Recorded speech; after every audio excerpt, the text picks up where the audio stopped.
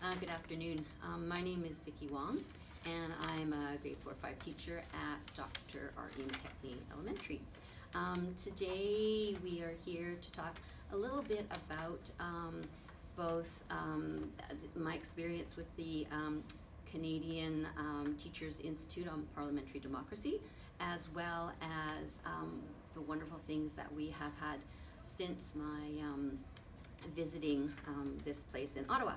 Um, first with us though are uh, two of my students uh, in grade four and grade five. They will introduce themselves. Hello, I am William and I'm in grade four. Hello, my name's Abigail and I'm in grade five. So um, the Canadian Parliamentary um, Teachers Institute on uh, Democracy is an annual um, professional development opportunity for teachers across Canada um, to um, participate um, at Parliament um, on the Hill, um, our capital city, um, uh, and meet uh, legislators and uh, parliamentarians and really get a better understanding of what really goes on in our capital city and with the governing of our country. How were you selected to go to Parliament? Well, I happened to see the application uh, come through um, an email through, um, I believe it was my professional group. And I thought, oh gosh, um, that would be really uh, interesting to try at the federal level because in 2016 I had the um, privilege of uh, um, attending the uh, similar one in Victoria for our provincial government. So, how was your visit at the Parliament? Uh, one highlight was I got to um, uh, basically an hour and a half meeting with Senator Tony Dean, and um, uh, he actually um, uh, he's an Ontario independent senator. He told us about his daily activities and the things he's working on.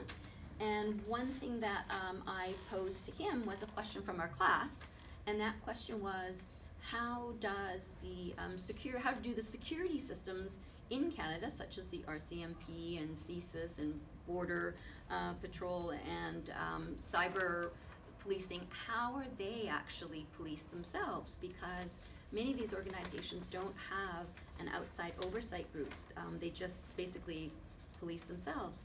And he told me that that was really great timing on our half because um, Bill C-59 is exactly a bill that they're putting through Parliament right now. If you go to the website, you will actually see what's going on with it, what reading's happening, um, and it addresses exactly that topic. Um, so that was very cool to um, have him share um, that with us. Um, on another day, we got to um, go to Rideau Hall, which is of course the home of the Governor General, and uh, we were very fortunate. She was there, and she actually came and talked to us, and was really keen in engaging teachers in connecting with um, um, the Governor General's office, um, amongst others. So that was that was pretty cool.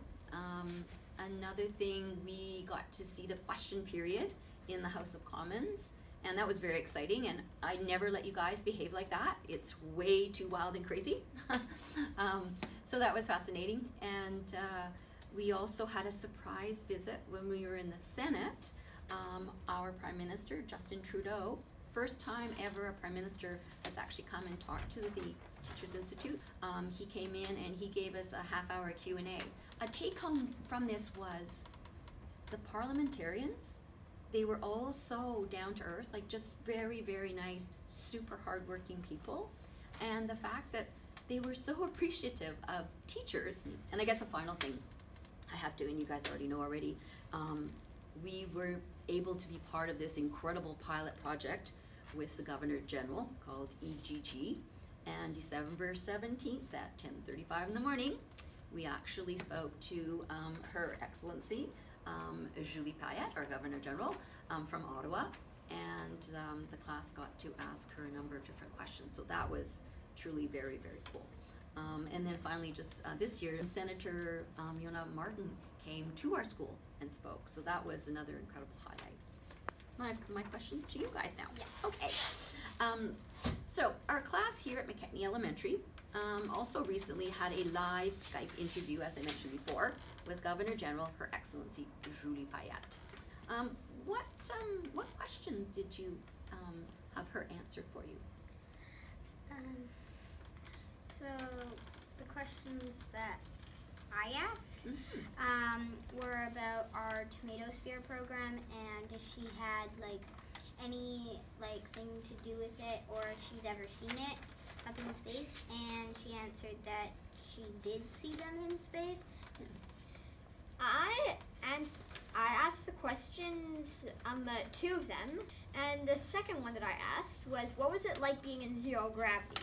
I think that she said it felt like kind of strange being weightless, like you are supposed to be falling, but you actually do not fall.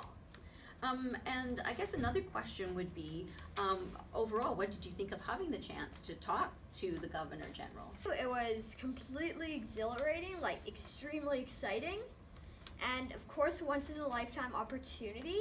How about you, Abby? What, what did you I feel the exact same Same way Yeah, yeah. And a part of this whole Teachers Institute and, and the theme this year, the 22nd one, um, was all about engage, engagement and engaging everybody, including obviously teachers and accordingly their students and classes. So, I mean, what better way than to have the Governor General come right into your classroom basically via Skype? Our class also had a very special visit from Senator Yonah Martin.